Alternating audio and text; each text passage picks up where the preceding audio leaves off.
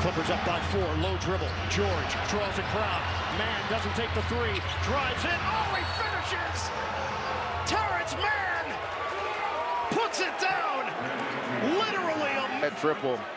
The pump fake froze Gobert, and they always tell you if you're gonna go at a shot blocker, you better go hard.